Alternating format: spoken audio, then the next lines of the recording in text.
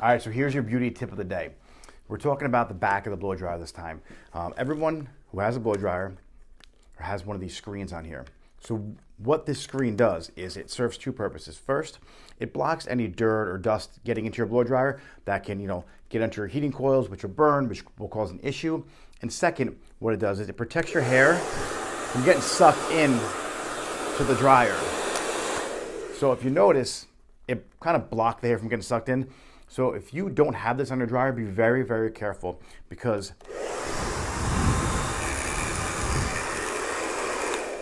if you noticed, it just sucked her hair in. So it would suck your hair in too.